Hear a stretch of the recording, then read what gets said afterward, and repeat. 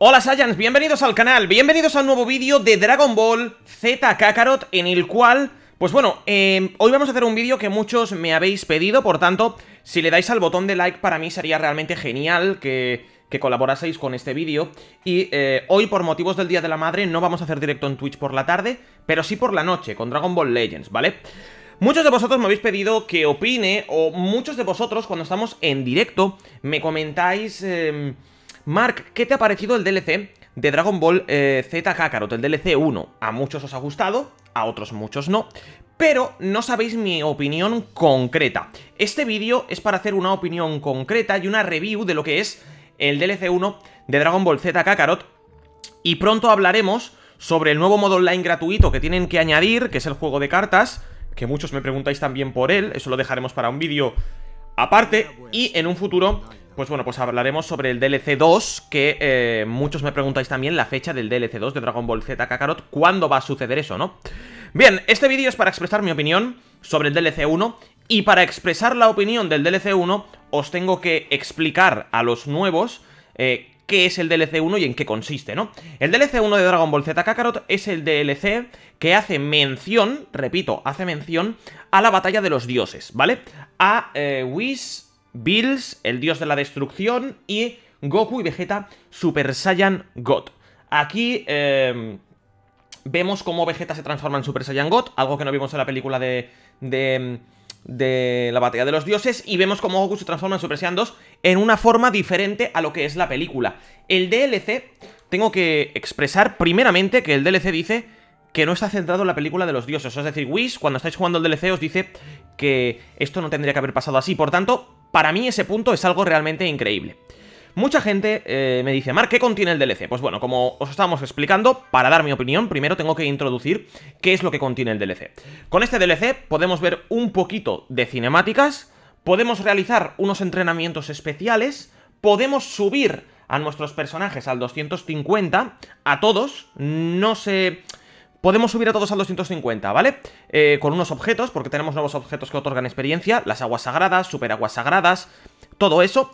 Y nuevas historias secundarias. Tenemos un par de misiones secundarias que podemos realizar aquí en Dragon Ball Z Kakarot. De hecho, nos falta una por eh, realizar, que si no la tenéis hoy, la tendréis mañana porque esta noche me gustaría así subir un poquito de Dragon Ball Xenoverse, como le estamos dando al Legends, al Kakarot del Xenoverse.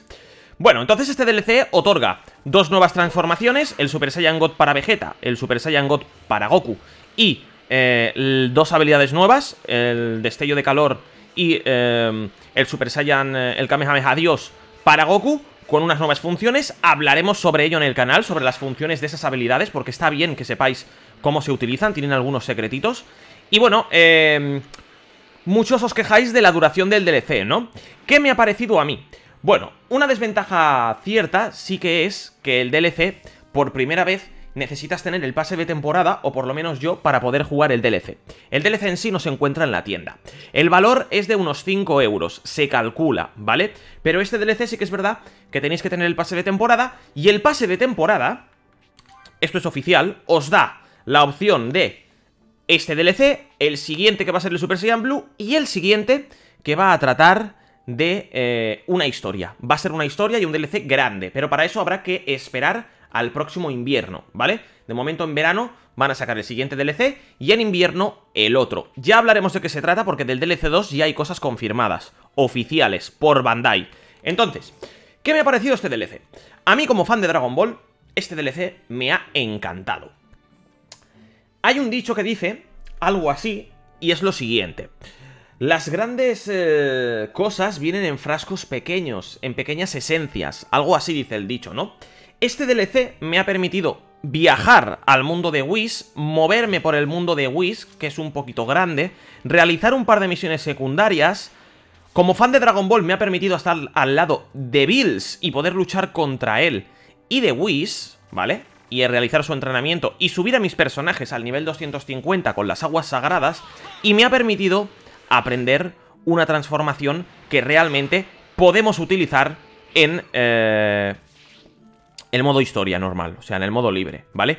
Tengo que aclarar que Whis, eh, tengo que aclarar que Whis tiene el Ultra Instinto de Los Ángeles. No el mismo de Goku, pero el de Los Ángeles. A veces le pegas y te realiza, ¿veis? El Ultra Instinto de Los Ángeles, que es realmente increíble, ¿no? Este DLC a mí me ha gustado bastante, me ha parecido increíble y me ha parecido una auténtica locura. Entiendo que la gente no se sienta tan identificada porque el DLC les ha parecido corto. A mí también, el DLC es corto, pero como digo, las grandes esencias vienen en pequeños frascos, ¿no? En pequeños frascos. A mí este DLC me ha gustado, podéis utilizar el Super Saiyan eh, God. El precio del DLC no es muy caro porque creo que el pase de temporada cuesta 20 o 25 euros, lo que son 20 o 25 dólares, y con eso vais a tener tres DLCs. Dos transformaciones, que es el Super Saiyan God y el Super Saiyan Blue, y con eso nos darán pie a eh, un nuevo DLC de historia. Muchos dicen que va a ser la batalla de los dioses de Bills y, y Whis. Yo creo que con el Super Saiyan Blue puede ser la resurrección de Freezer.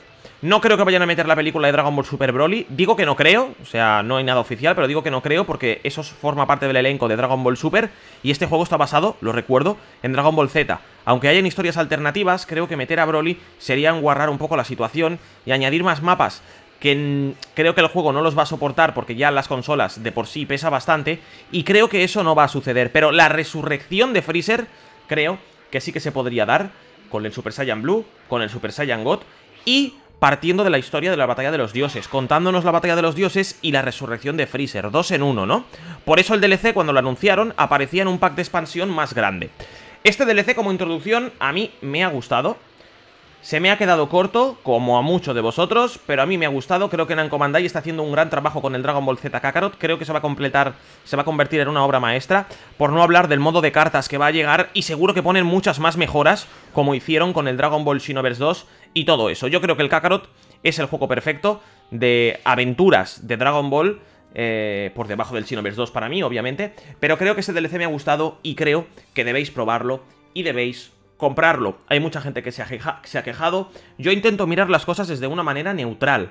Desde una manera neutral. Está claro que me hubiese gustado tener mucho más contenido y tener historia. Historia y todo eso. Pero la forma en la que ha planteado este DLC me ha parecido correcta, nos lo hemos pasado muy bien, hemos completado la enciclopedia Z en el canal de Twitch con el Super Saiyan God, y bueno, los siguientes vídeos van a ir sobre las transformaciones y sobre todo eso en Dragon Ball Z Kakarot. Espero que este vídeo de opinión os haya gustado. Me gustaría saber vuestra opinión. Si os ha gustado, os animo a que juguéis el DLC. Es muy bonito, es muy increíble. Te da esa sensación de estar en Dragon Ball jugando. Y para nada me ha pagado Bandai, ni me ha pagado nadie por decir esto. Lo digo personalmente. Eso sí, felicito a Bandai Namco por el trabajo y el desarrollo que llevan haciendo desde Dragon Ball Xenoverse 1 con los videojuegos de Dragon Ball. Cada vez van a mejor. Sacaron el Xenoverse 2, el Fighter, el Kakarot Vamos a ver qué vemos en este periodo de E3, porque el E3 no se va a celebrar, pero los, las compañías de juegos van a seguir anunciando juegos. Y veremos a ver qué hay en este periodo del E3 y veremos a ver qué es lo que nos ocultan y qué es lo que van a lanzar. ¿Algún juego de Dragon Ball? ¿El Xenoverse 3? Lo veremos. Está claro que contenido de Dragon Ball vamos a tener. Estaros pendientes al canal, activar la campanita, porque muy pronto hablaremos sobre el DLC 2 de Dragon Ball Z Kakarot. Creo que ahora es muy pronto, creo que quedan muchos vídeos para enseñaros habilidades, enseñaros tácticas, enseñaros cosas que, que, estamos haciendo. Y no os olvidéis, por supuesto, de pasaros por mi canal de Twitch, cada vez somos más, por las noches a las 12 de la noche. Estamos jugando todos los días a Dragon Ball Legends, un juego gratuito de móvil y estoy jugando con todos vosotros, me estáis enseñando y estoy aprendiendo mucho. Y por las tardes juego a WWE SmackDown vs. Raw, ya sabéis que todos los lunes aquí en el canal tenéis un episodio de SmackDown. Eh, por las tardes, cuando no juego al SmackDown, juego a juegos de Dragon Ball. Ahora tocará completar el Xenoverse 2 en eh, el PC. Y nada, muchas gracias por estar aquí, muchas gracias por... Eh, escucharme, por leerme, por el apoyo que me estáis dando últimamente, que es increíble. Creo que el canal va por una buena dirección. Hemos aprendido a poner la palabra mods en los mods, que eso era algo que machacaba mucho el canal. Por fin he aprendido, por fin he recapacitado. No me he bajado del burro, continuamos mejorando, continuamos hacia arriba. Y nada chicos, muchas gracias eh, a vosotros por ser los fans de Dragon Ball, por permitirme hacer estos vídeos y llegar a muchos de vosotros. Y nos vemos en un nuevo vídeo. Espero que os haya servido mi opinión. Al DLC le doy un aprobado. No le doy un sobresaliente, pero le doy un aprobado. Está bastante bien. Espero que compréis el pase de temporada porque nos van a decepcionar los tres DLCs y por el precio por lo que lo sacan pues yo creo que es bastante. Recordad que tenéis tutoriales para subir de nivel a todos los personajes, tenéis eh, las misiones y cómo derrotar a Bills con Vegeta y con Goku, todo en el canal, y también tenéis las guías de las comunidades para subir las comunidades de vuestros personajes. Yo me despido, gracias por estar aquí una vez más, que me enrollo mucho, y nos vemos esta noche a las 12 en Twitch eh, con Dragon Ball Legends. Hasta la próxima, Saiyans. Chao, chao.